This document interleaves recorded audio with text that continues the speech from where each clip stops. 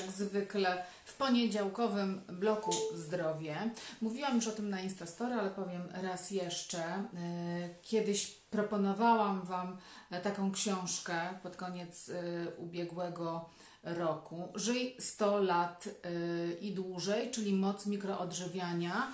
E, Autorką tej książki jest mm, Marta Mieloszyk-Pawelec, właścicielka kliniki e, Lifestyle Med, farmaceutka i specjalistka od mikroodżywiania. Za chwilę porozmawiam z panią Martą e, na ten temat, co to jest to mikroodżywianie, bo to jest odżywianie organizmu na poziomie komórkowym, tak e, krótko rzecz ujmując. E, Czekam na połączenie z panią Martą Mieloszyk. Widzę, że tutaj cały czas jest oczekiwanie. Mam nadzieję, że wkrótce się połączymy. Tutaj ktoś mi pisze, że genialnie w tych krótkich włosach, trochę nie na temat, ale powiem szczerze, że się zastanawiam bardzo, bardzo mocno e, nad tym, czy, czy w ogóle będę zapuszczać włosy. Coś pani Marta mi się nie łączy. Pani Marto, czy, czy pani mnie słyszy? No jest pani Marta, ale poczekajcie, spróbuję w takim razie jeszcze raz. Jeszcze raz spróbuję. Dzisiaj będzie o mikroodżywianiu i książka pani, e, pani Marty Pawelec, e, Żyj 120 lat, czyli moc mikro... A! Jest pani! Słyszymy się? Ale ja pani nie słyszę.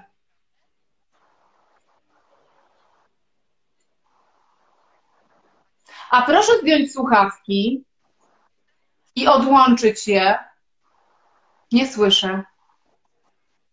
W ogóle odłączyć tele... O, Tak? Dobrze. tak, teraz super. No witam serdecznie. Wreszcie udało nam się połączyć. E, e, Tak jak powiedziałam, polecałam bardzo gorąco tę książkę.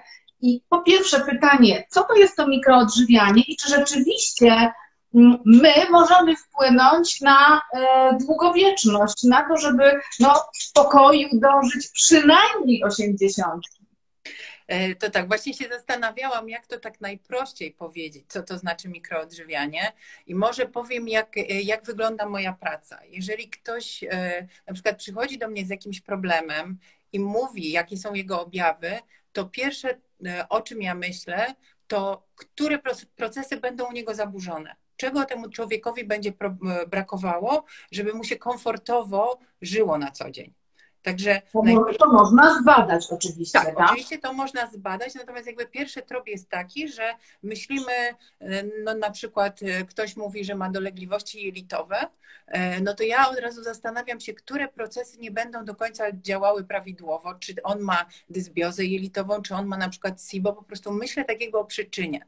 Natomiast to, co, co Pani powiedziała wcześniej, czyli że to jest takie odżywianie na poziomie komórkowym, to nawet e, to chodzi bardziej o to, że e, my uwzględniamy jakby w modelu żywienia i w e, optymalnym funkcjonowaniu organizmu to, że mogą być deficyty określonych związków, Mhm. które niekoniecznie wpływają na, na energię jako taką, że mają właściwości energetyczne, tak jak białka, jak tłuszcze czy węglowodan, węglowodany, ale bez tych substancji też nie zajdą po prostu procesy w organizmie określone. No dobrze, bo tak ktoś pisze właśnie na temat odżywiania włosy mają wiele wspólnego, ale bo Pani z wykształcenia jest farmaceutą, Tak, e, e, magistrem farmacji i e, skończyła Pani mikroodżywianie na Uniwersytecie we Francji Tak. i po- powiedzmy Państwu, że to jest dziedzina, bardzo wąska dziedzina medycyny.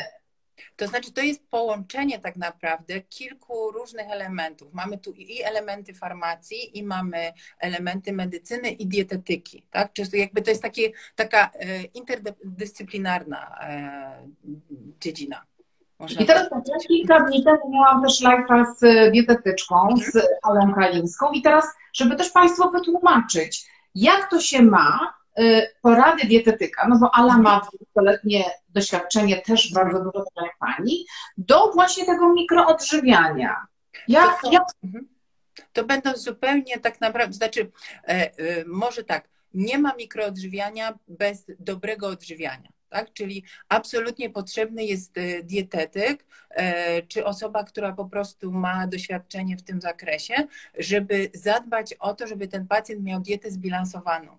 Natomiast mikroodżywianie to jest poszukiwanie tak jakby zaburzeń tego organizmu, po to, żeby e, mm, na przykład e, weryfikujemy, jednym z takich parametrów, który można jakby podciągnąć już do, do tego, do pracy w mikroodżywianiu są chociażby deficyty witaminy D czy w organizmie, czy deficyty żelaza. Pierwiastków, prawda, tak, selenu, tak, to są takie pierwiastki w tej chwili, które są naturalnie wybite bardzo i albo trzeba je suplementować, albo szukać takiego pożywienia, które nam Natomiast co najważniejsze, my jesteśmy w stanie zweryfikować, czy my faktycznie mamy deficyty selenu w komórkach, czy mhm. też nie. Bo to też o to chodzi, żeby nie tyle e, suplementować wszystko, co popadnie, bo są deficyty w, w pożywieniu i jakby mamy skażone środowisko, jakby no nieodpowiednią e, jakość gleb i tak dalej, bo można wielu takich czynników się dopatrywać, ale bardziej chodzi o to, żeby e, faktycznie pokazać pacjentowi, jakie on będzie miał te deficyty, tak, żeby w celowany, świadomy sposób wprowadzić mu tą suplementację. Mm. Czyli mikroodżywianie to można powiedzieć, że to jest tak jakby celowana, szyta na miarę suplementacja dla danego pacjenta, żeby poprawić jego stan zdrowia, żeby poprawić jego komfort, komfort funkcjonowania na co dzień. Czyli ja rozumiem, że w zasadzie, bo ten nasz początek jest o, ogólnie o mikroodżywianiu i to w zasadzie każdy człowiek może wziąć sprawę w swoje ręce, niezależnie od tego, czy ma 20, 30, 40 czy 50 lat. Jeśli uzna po tej naszej rozmowie, czy po przeczytaniu Pani książki, że, że warto spróbować, to rozumiem, że można sobie e, pomóc na różne dolegliwości, takie jak, nie wiem, rozdrażnienie, bezsenność, wypadanie włosów. W drugiej części naszej rozmowy powiemy też o tym, czy mikroodżywianie jest dobrym sposobem dla chorych onkologicznie. Dla Natomiast... Mhm. tak naprawdę dla każdej osoby. Mhm. A dlaczego o, o, tym się nie, nie mówiło wcześniej? Dlaczego mówiło się, ale też inaczej Aha. To znaczy, nie, nie umiem odpowiedzieć dlaczego. Może to też jest tak, że przychodzą zawsze takie momenty e, przełomowe, zwrotne, kiedy ludzie zaczynają się interesować. No bo prawda też jest taka, że no jakby coraz większe jest zainteresowanie zdrowym stylem życia, prawda? I były takie mhm. etapy, że ludzie bardzo skupiali się na odżywianiu, bardzo skupiali się na aktywności fizycznej. To już mają opanowane, jakby te rytuały swoje mają wprowadzone, ale chcieliby ciągle wiedzieć więcej, tak? Czy na pewno u, u nich w organizmie jest wszystko w porządku, a dlaczego pomimo dobrej, zdrowej diety i fajnej i, i e, dobrze jakby pod kątem e, takim jakby kontroli trenera ustawionych ćwiczeń, na przykład nie chudną, albo dlaczego pomimo dobrej diety mają dolegliwości e, żołądkowe, albo wzdęcia. I oto jakby albo, to jest coś, co tak, albo często mnie właśnie pytają e, moi użytkownicy, oczywiście ja nie jestem w stanie na ten temat odpowiedzieć, bo, bo nie jestem specjalistą, dla, dlatego zapraszam do rozmów specjalistów. Dlaczego, i to też jest mój przykład, dlaczego ja dbałam o siebie, ćwiczyłam, e, często się badałam, nad wyraz często, a mimo to e, zachorowałam na nowotwór. I tutaj w Pani książce jest taka mm, bardzo ciekawa piramida, o której mówiłam na Instastory przed naszym spotkaniem, czyli to, to mikroodżywianie i styl życia jest niezwykle mm, ważny w tym dążeniu do, do, do długowieczności. I tutaj na, naj, najważniejszym elementem jest nastawienie do życia, czyli poprawianie nastroju poprzez jogę, medytację, modlitwę. Proszę bardzo, u nas obu są kwiaty. Czyż to nie jest poprawianie sobie nastroju? Zawsze. Natomiast Pani Aniu tutaj, y, bo pyta Pani, y, dlaczego tak mogło się wydarzyć. Y, my na przykład, jeżeli chodzi o ocenianie stanu zdrowia pacjenta, e, my tak naprawdę badamy zupełnie inne parametry, bo normalnie jak e, myślimy o diagnostyce takiej rutynowej, e, to zazwyczaj pacjenci myślą o morfologii, ewentualnie mhm. właśnie dobadają sobie poziom witaminy D, może ferytynę, bo to o tym teraz coraz częściej się też mówi, że jest to istotny parametr dla kobiety. Natomiast Oczywiście te wszystkie parametry są bardzo istotne tak, do kontroli stanu zdrowia, ale po prostu teraz pod lupę można brać zupełnie inne związki, które tak jakby przez specjalistów na świecie zostały uznane za e, konieczne, korzystne tak naprawdę do utrzymania optymalnego poziomu zdrowia. Mhm. Czyli żebyśmy my mogli powiedzieć, jak sprawnie działa, jak sprawnie przede wszystkim działa organizm, z czym on sobie radzi, z czym nie radzi, to musimy jakby tą diagnostykę tak popchnąć w innym kierunku, czyli Tak, tak, tak, tak. tak, Jesteśmy. jestem? Tak.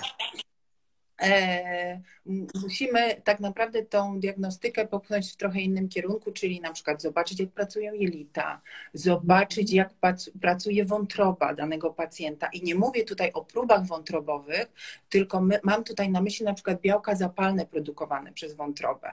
E, jeżeli mówimy o jelitach, to też nie mam na myśli kolonoskopii, e, bo to jest badanie obrazowe, czyli ono jakby nam dużo, jeżeli tam są jakieś drobne rzeczy, niedogodności, które danemu pacjentowi przeszkadzają, e, no to też tego nie będzie e, jakby na Mhm. początku widać. Jak ten pacjent na przykład może właśnie narzekać na wzdęcia, na, e, na różnego rodzaju problemy, na przykład spadek odporności chociażby, Mhm. problemy z zaparciami. I na, w tych wczesnych etapach warto na przykład ocenić wtedy pracę białych zapalnych, e, Mhm. to znaczy pracę, pro, produkcję białych zapalnych e, przez wątrobę. Tak trochę inaczej po prostu na ten organizm spojrzeć, bardziej w tym kierunku, co możemy dzięki temu zrobić za pomocą odżywiania, co możemy zrobić za pomocą mikroodżywiania, żeby poprawić ten komfort e, funkcjonowania. A gdybyśmy miała spojrzeć y, na e, człowieka ze strony, mm, który organ jest najważniejszy? No bo wiadomo, że takim centrum naszego ciała i życia jest serce, które bije i y, które e, jeśli bije, to znaczy, że żyjemy, ale wcale może to serce jest najważniejsze. No właśnie to jest, prawda, to bardzo różnie w zależności od też podejścia medycyny kraju. E, Są na przykład też takie podejścia, gdzie się mówi, że serce to jest tylko mięsień, prawda?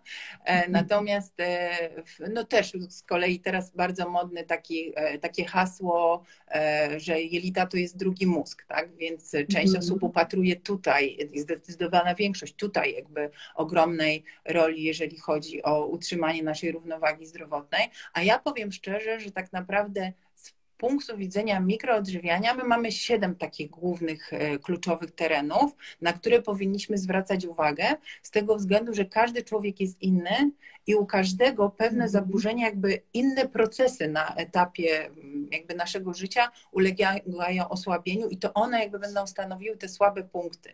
I właśnie w mikroodżywianiu, także super Pani w ogóle zapytała, to jest dla mnie bardzo pomocne, z tego względu, że w mikroodżywianiu my tak jakby najpierw zaczynamy od czegoś, co się nazywa profilem funkcjonalnym, czyli na podstawie takiej jakby programu komputerowego i kwestionariusza, zanim jeszcze w ogóle przejdziemy do badań, jakby rozeznajemy się, z których terenów jakby ten pacjent może mieć największe kłopoty, tak? Co, co mu najbardziej będzie przeszkadzało, czyli żeby znów podać jako, jako e, e, m, przykład.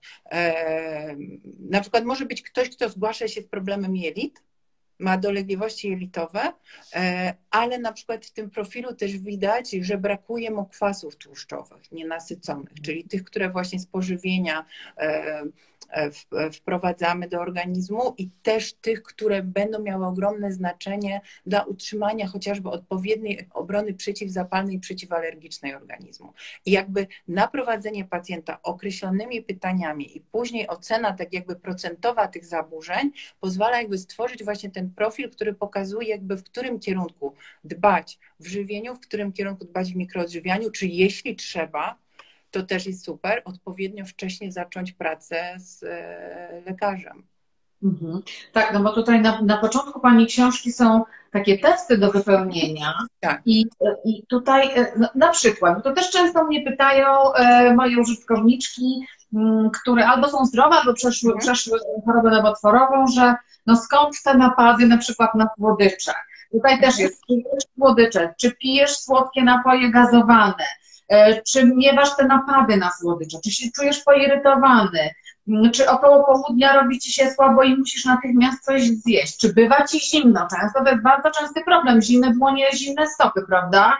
E, Czy po posiłku jesteśmy senni, czy mamy e, chęć powiadania między posiłkami i tak dalej, i tak dalej. I tutaj zaznaczając tak albo nie, wychodzi nam, e, jest kilka takich testów e, u Pani, wychodzi nam na koniec jakiś wynik.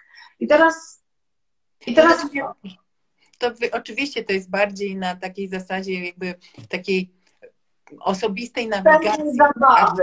Tak, tak, tak, bardziej tutaj. Natomiast dla specjalisty e, stworzenie tego profilu, to tak jak wspomniałam, jakby pozwala trochę bardziej zaufać e, liczbom niż na przykład takim, takiemu zasugerowaniu się, że jak ktoś mówi, Mhm. że nie wiem, mam zaparcia, to koniecznie jakby już musimy się skupiać, że to będą tylko i wyłącznie jelita i tylko tam upatrywać problemu, tak? Czasami jak mówimy o jelitach, to też musimy wziąć pod uwagę inne narządy, e, inne Mhm. organy, które są jakby wcześniej e, na tym, na, na szlaku przewodu pokarmowego, bo tam tak naprawdę może być też dysfunkcja. Czyli to mikroodżywianie to też jest tak, że, że no musimy myśleć o Dzisiaj rozmowa z cyklu